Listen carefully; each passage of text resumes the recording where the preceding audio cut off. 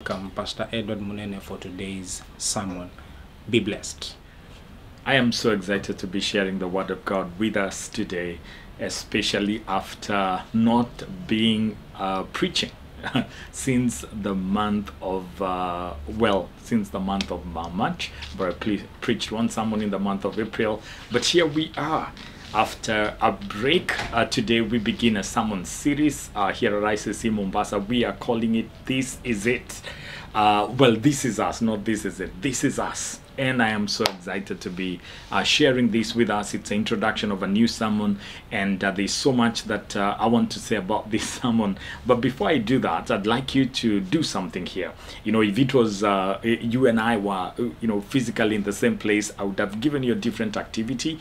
But today I want to give you acti- an activity where I want you to think of somebody who is a friend of yours, a workmate, a colleague, uh, you know, somebody you interact with, somebody you know, maybe your neighbor who has a name that begins with the same letter as yours. And I want you to invite them and tell them you need to watch this sermon with me online you know and that simply means uh, if your name is edward like my name uh, you go ahead and uh, invite somebody called edwin or emmanuel or emma and just tell them would you watch this sermon together with me? Uh, because i want you to go ahead and invite somebody else so that uh, we are not listening or we are not going through this sermon by ourselves. And as you're doing that i'd like to pray and then bring the word of god to us. Heavenly Father, it's my prayer that as we share your word, you will minister to us. Every person watching this on uh, Facebook, every person watching this on YouTube, every person watching this on uh, the, our ICC Mombasa page, uh, website, Lord, it's my prayer that uh, you will minister to them. They will experience, they will hear your word, you will speak to them, Lord, you will draw them to yourself, and you will do a work that uh, is very transformative in their lives. I trust you, Father, to give me utterance and guidance as I share your word in Jesus' name. Amen. Amen. And so I trust that you are doing that right now. And uh, let me just say a big welcome to somebody who might have been invited and they're here. It's good to have you here. My name is Edward Munene, and I'm bringing you the Word of God uh, from International Christian Center Mombasa, a church that I'm privileged uh, to be one of the pastors, one of the staff team. And I am so excited to bring us the Word of God. And uh, because we have already prayed, I'd like us to go ahead and uh, and, and just dig into the word of God.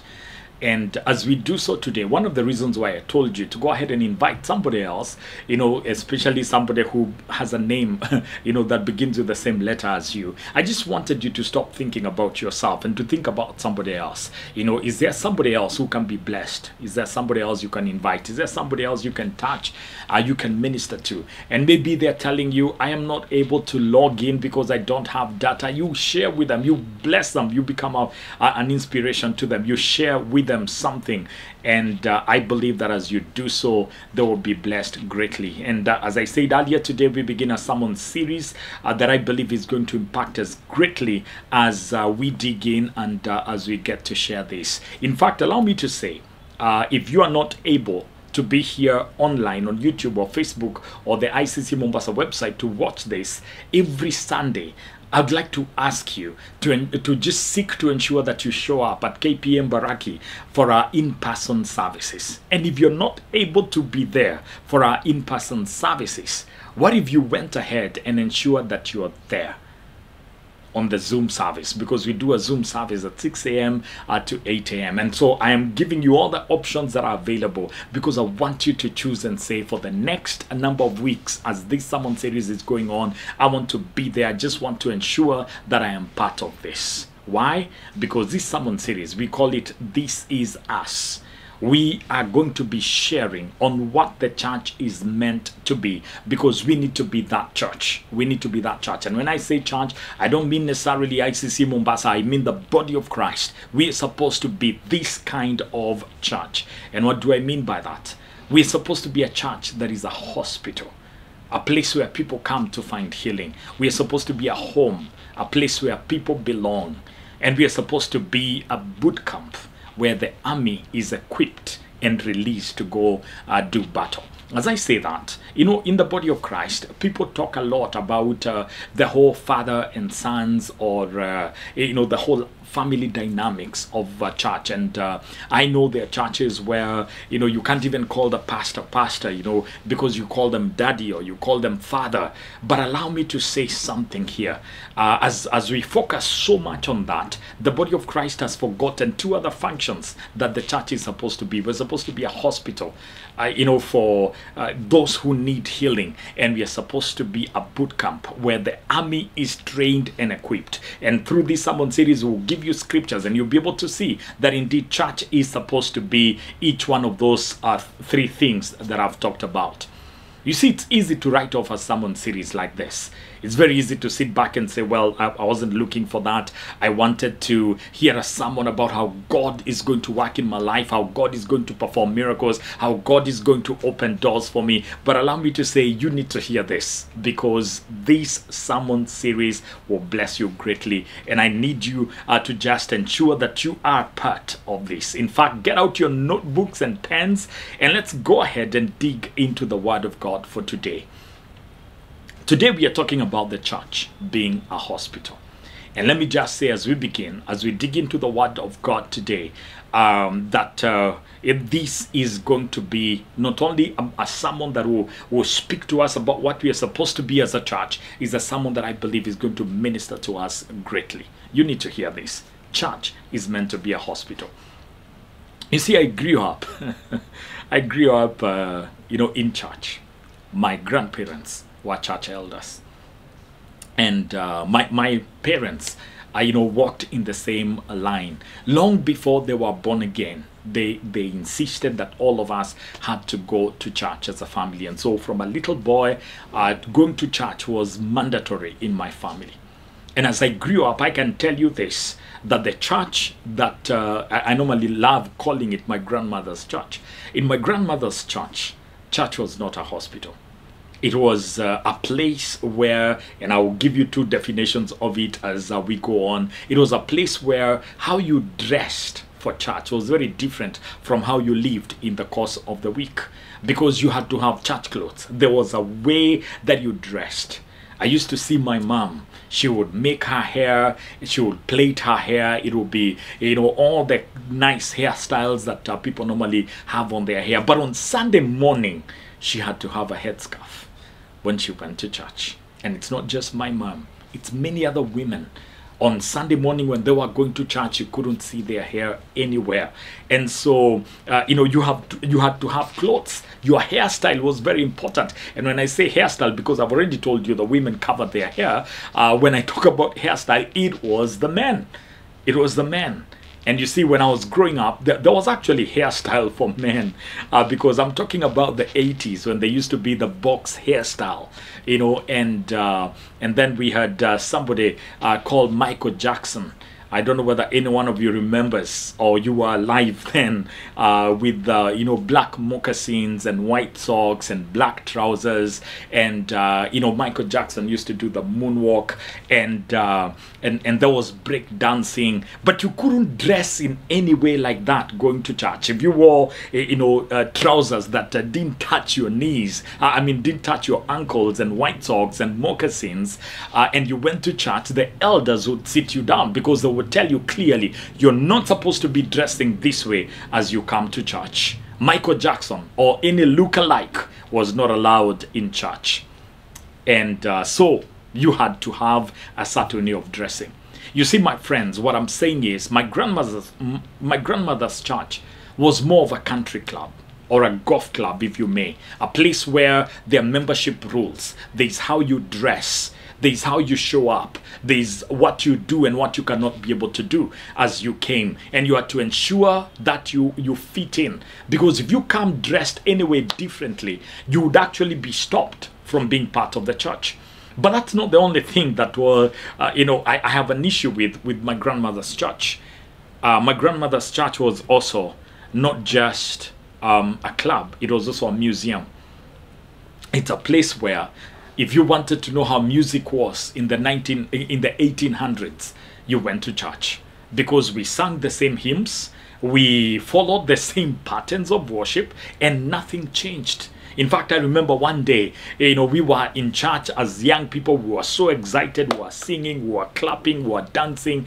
and we were summoned by the church elders and who were sat down and who were told you don't sing like that in that church because the way things used to be and i'm quoting verbatim it's only that i'm translating the way things used to be is the way things shall be now and is the way things shall always be even in the days to come. And you don't change it. In other words it was a museum. When you went to church you didn't stand and shout amen when the word blessed you. You did what they did in the pious 1800s, you sat quietly, you meditated, and you carried a Bible. I don't know what they're doing in this day and age when people are, are carrying, you know, their Bibles on their phones. I have no idea. I haven't been there. I haven't been there. But church was a museum. And I'd like to just say to us today, as we think about this, you know, allow me to ask the question Is, is church really that for you? Is church really that for you? Is there a different way of doing church? Is there a different way of seeing church? There are many things that the Bible tells us, and I'd like to uh, go ahead and dig into some of them today because I want to show you from the Word of God that, uh, that there's so much more to church than what people see it, or what people say, or what people focus on. And I want you to join together with me as uh, we, we go on this journey because I trust and I pray and I believe that God will speak to you, God will minister to you, uh, God will work in your life and uh, just bring transformation to you. You see, one of the reasons why I am pained by this and why we're talking about what we're talking about is uh, because my uncle, my uncle, uh, he has been away from church since 1973. He's a drunk. Um, you, you see, he went to my grandmother's church in 1973 and he was uh, a little drunk according to what he tells me. He was smelling of alcohol but he was sober and that day he had felt a conviction that he needed to go to church and so he showed up at church.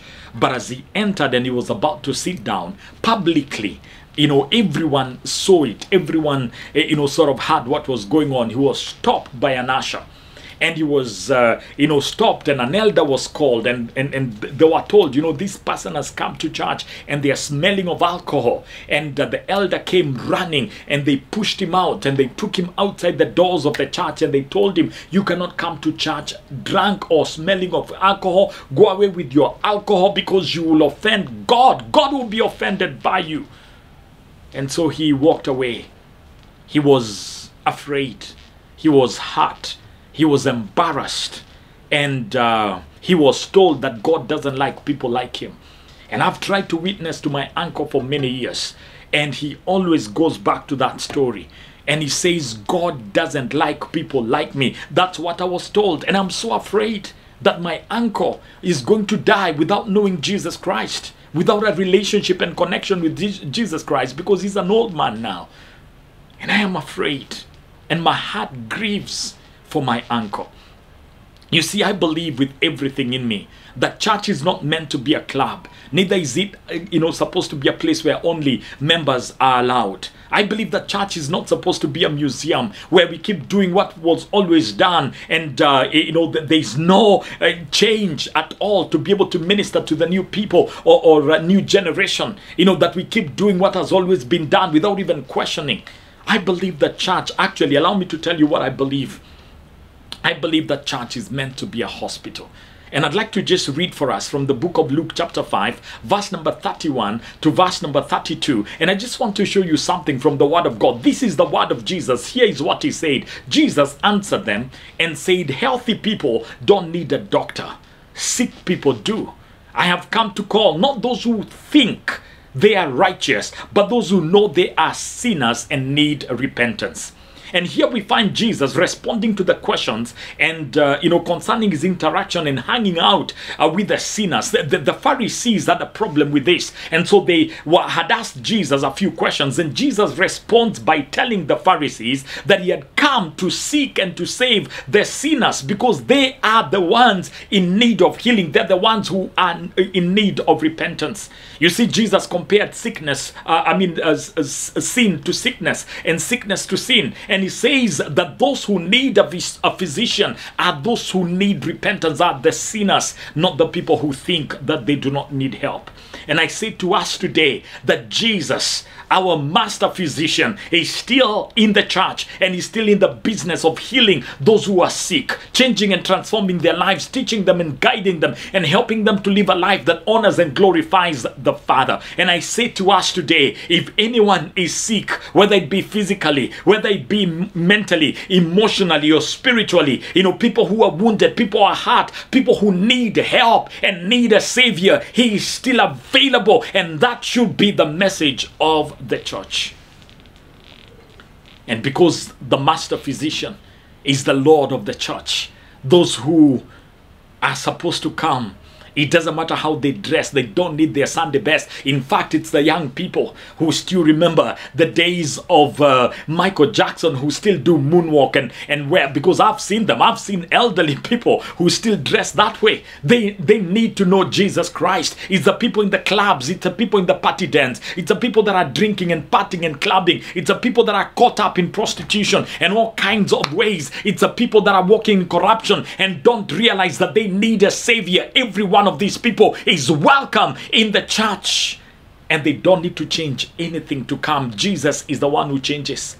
And I'd like to just say you don't need Sunday clothes. You don't need to change anything. All you need to do is come. Jesus is waiting. He's the one who does the work of transforming.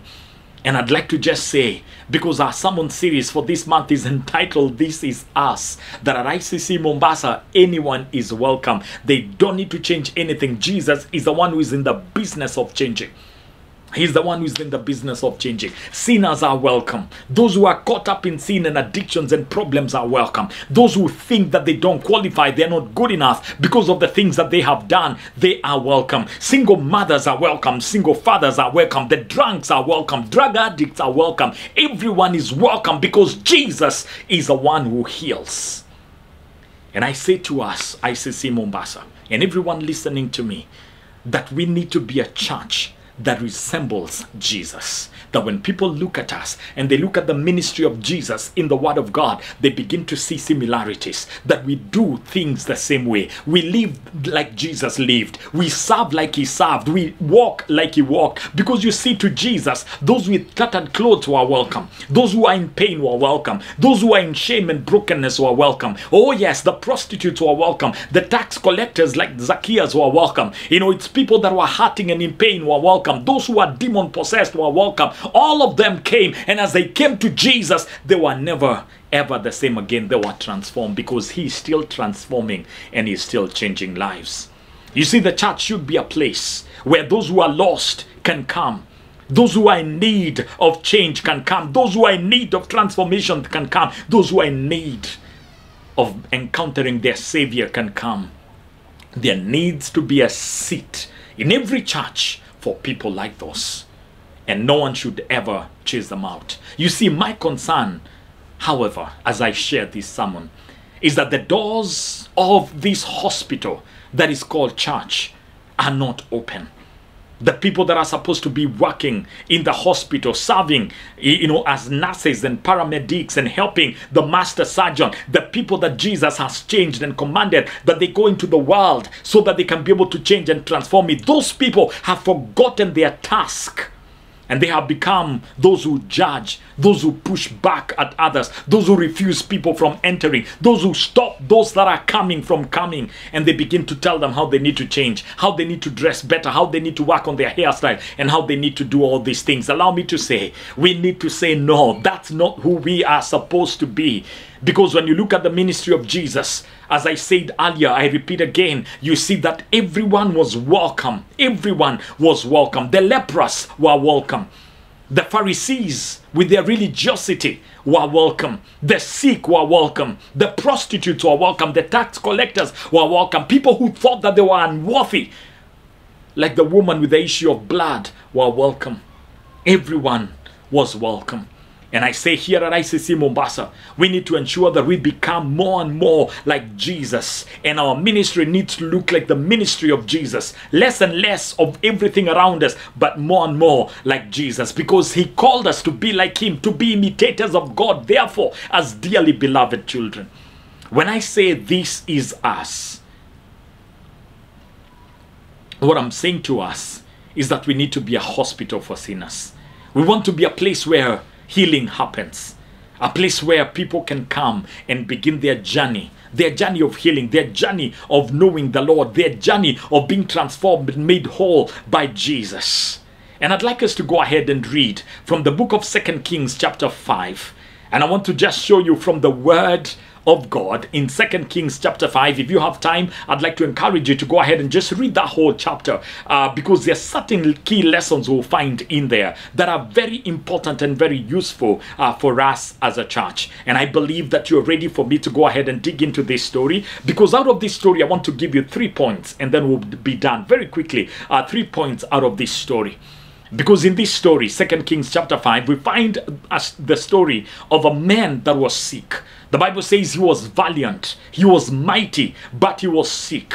And when you look at those words, valiant, mighty, you know, that the Bible uses, you begin to realize that uh, Naaman, who was being described by this story, uh, you know, he, he was a man of skill. He was a man of potential and ability. He had so much that he could be able to do and contribute. He was a great man. He was a man that, that uh, you know, had done exploits and a man that had skill to do so much more. But he was sick he was sick. There was a problem somewhere. And I say to us today, there are so many people in our day. There are so many people in our generation. Maybe it could be you that is listening to me. You know, you have so much that you can be able to accomplish, so much skill, ability, talent, gifting. But there's something that is holding you and causing you not to be all that God created you, not to live the life that God intends of you, not to be the difference maker that you're supposed to be, not to live your life for God's glory and God's praise. But something interesting, uh, you know, happens. Naaman's, uh, you know, with his sickness and all, and has an encounter with a Jewish girl, with a girl that really they had captured and brought into his house as a servant. And this girl, you know, is going to teach us our first lesson. And if you read the story, you know, first uh, verse number one all the way to verse number three, you will see this story because there's something very interesting uh, that this girl says and i'd like to read those verses you know in uh, chapter number 5 second kings verse number 1 to verse number 3 the bible says now naaman was commander of the army of the king of aram. He was a great man in the sight of his master and highly regarded because through him the lord had given victory to aram he was a valiant soldier, but he had leprosy. Did you hear the back? But he had leprosy. Mighty man with power, with skill, with ability, with so much potential, but there was a problem. And there's so many people that are living that way this day. You know, they have so much that they can be able to accomplish, but there is a problem. But yet, the church is supposed to be a hospital, a place where such people find healing so that they can be all that they ought to be. It's people that are caught up in corruption, it's people that are caught up in crime, it's people that are caught up, eh, you know, with seeking after the pleasures of this life, it's people that are caught up with selfishness who will find healing in the church and they will go out there and they will become such transformative agents that our world can be changed by these people as they go out to do what they're supposed to do. Verse number two, the Bible says, Now bands of raiders from Aram had gone out and had taken captive a young girl from Israel, and she served Naaman's wife. Verse three, she said to her mistress, If only my master would see the prophet who is in Samaria, he would cure him of his leprosy. If only my master would go down to you know to, to, to Israel, there is a man there that will be able to cure him of his leprosy. And there, right there, we find our lesson number one for today. And here it is, very quickly, very easily. It simply says, This is my lesson to us. In order for the church to become the hospital that we are supposed to be, we need to learn this. Here is the lesson. Everyone, you need to write this down. Everyone is welcome and they are free to come as they are.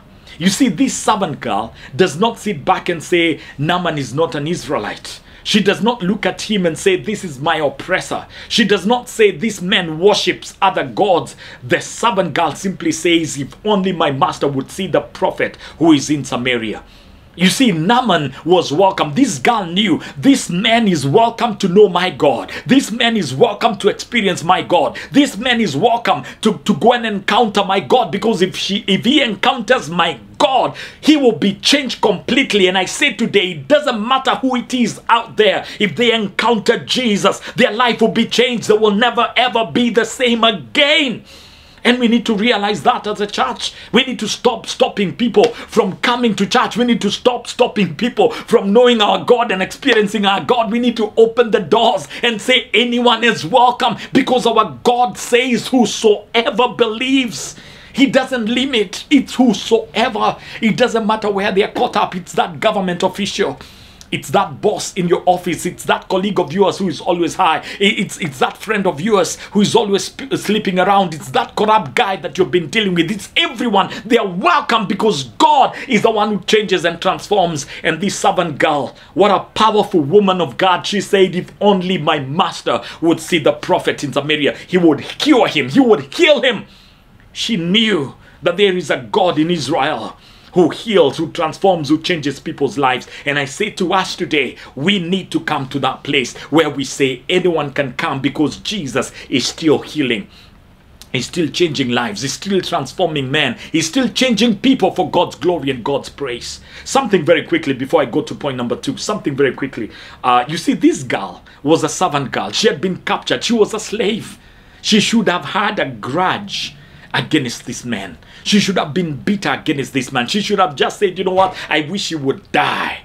But she teaches us such a powerful lesson. This girl had no grudge, she had no pain. She was whole. She was healed. She knew the God that she believed in. And I say to us today, every one of us in the body of Christ needs to let Jesus heal us so that he can take away bitterness. He can stop us from gossiping and seeing people and, and, and just being, eh, you know, walking in, in sin and walking in pain and walking in struggles of all kinds and trying to push people away. Because sometimes I think the body of Christ is filled with people that need healing, but yet they are not seeking God for healing. And because of that, we become such people who wound others. We gossip, we tell lies, we, we scheme against people, we do things that destroy other people's lives. Listen to me, we need healing. We need God to heal us. You know, you're holding a grudge against what was done to you, you know, five years ago, two years ago, three months ago. Let it go. Let God heal you. Let God take away that bitterness. Let God change you so that you can become a person that God can use to bring healing to others. He heals not just those who are outside. He heals even those who are in the church. And I pray today that every one of you listening to me today will allow God to heal you. You don't need to walk around bitter, in pain, struggling, you know, carrying all kinds of issues. Let the Lord heal you. May He heal you today. Somebody hurt you, let it go. You've been living in anger, let it go. You, you know, you have been struggling to forgive. I pray today that you will forgive. I pray that you will experience healing. Healing.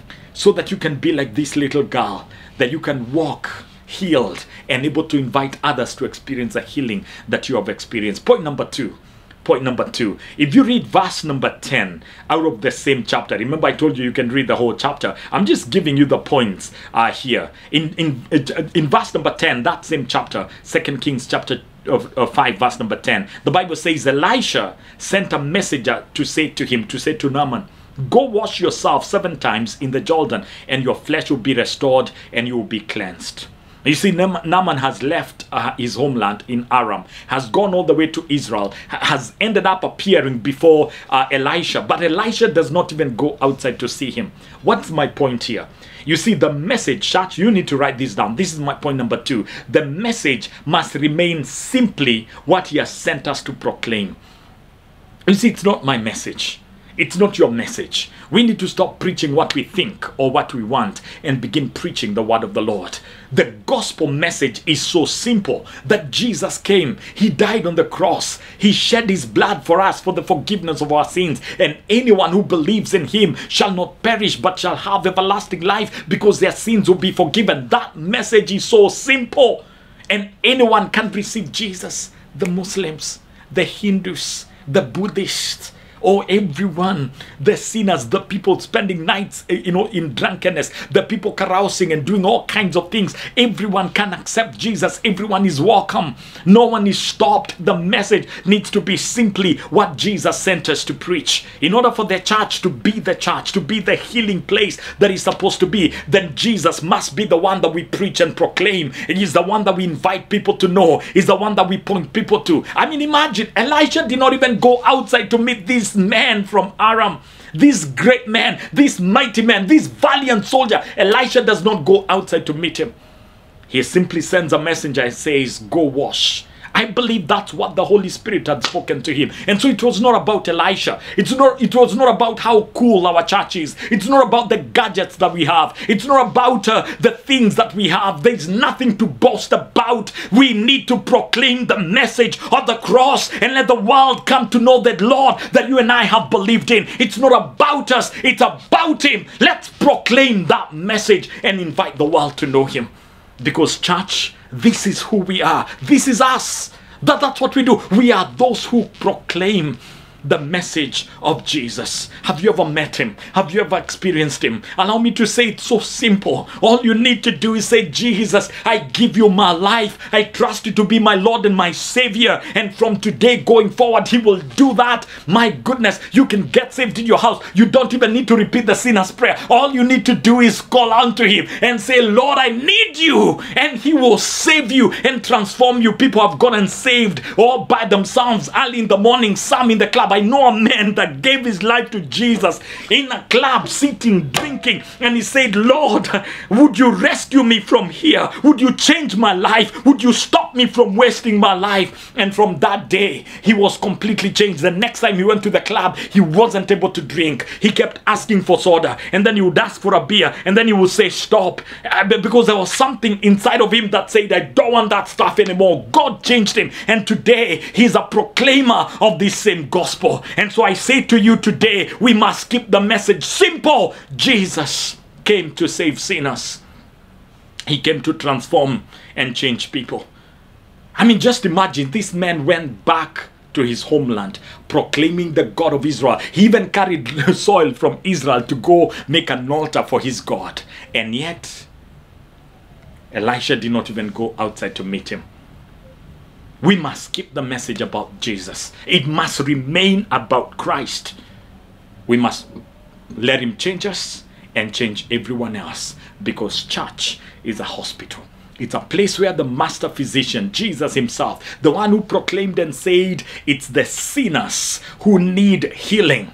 He must remain at the place where he is healing his people, changing their lives and transforming them. Point number three, because this is us, this is who we are supposed to be. This is who we are supposed to be. Point number three, it's about God and not about us. And so not only do we keep the message simple, not only do we invite everyone and say they're welcome. Point number three, it's about God and never ever about us.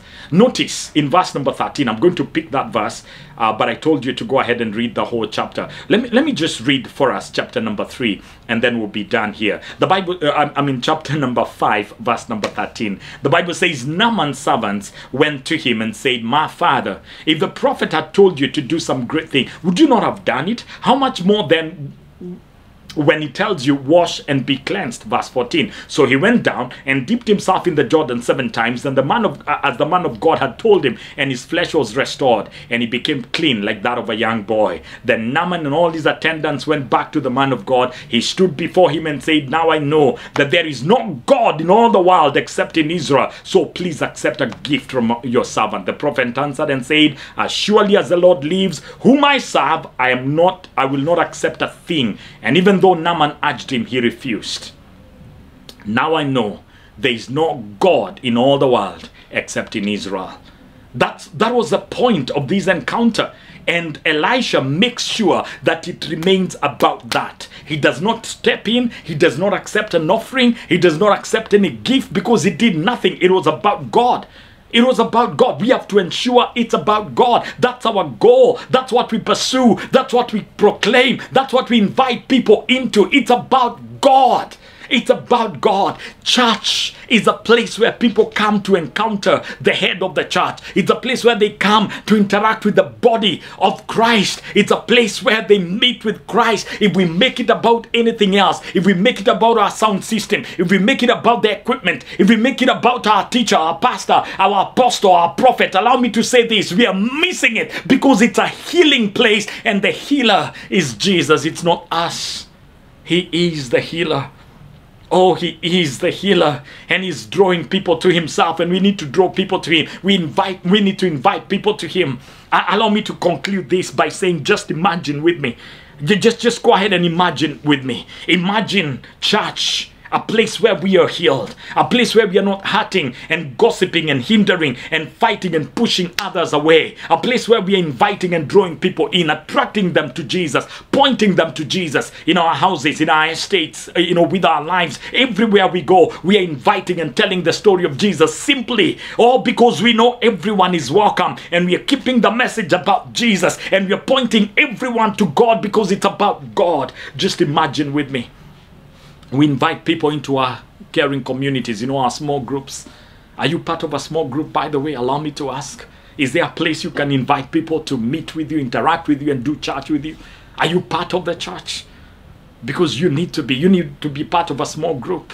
You need to be part of a small group. You cannot afford to continue to be a lone ranger. Because where is your hospital? Where is that place that you find healing? Where is that place that you find community and build relationships with others? But anyway, let's continue here. Just, just imagine with me Imagine with me, people in Mombasa begin to be touched and changed, be, just begin to be transformed because of this healing place. Just think with me, people around the nation of Kenya begin to be changed and impacted and even beyond. Why? Because the church is the healing place. We become the healing place that we, we, we need to be, not a place of people being destroyed, people being hurt, people being wounded, but people a place where people encounter Jesus and they get to know Him and walk in His purposes. Just imagine with me, we become that kind of a place, a place where we connect people to God and to each other, a place where we challenge one another to be like Christ, to be all that Jesus was, a place where, you know, we begin to walk out and to go out and to change the world because of the change that we are experiencing. Just imagine with me, that's what the church is supposed to be.